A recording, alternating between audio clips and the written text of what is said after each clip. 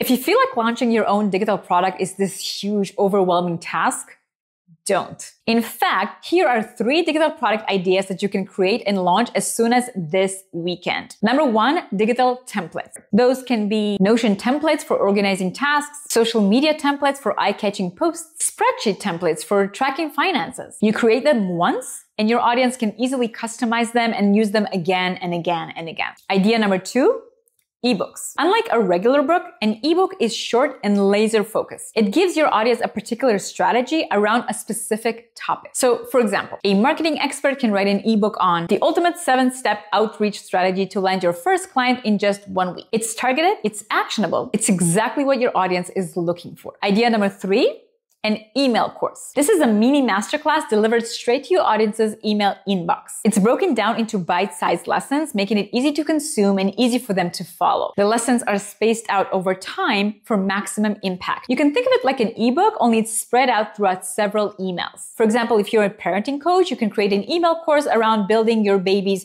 nighttime routine. You're going to share your knowledge one email at a time, helping parents build their baby's nighttime routine without overwhelming them. These are just three simple ideas ideas you can create quickly in like a few hours. You don't need weeks of planning and preparation. You can literally start creating it today and launch by the weekend. Just imagine where your business could be if you just start today.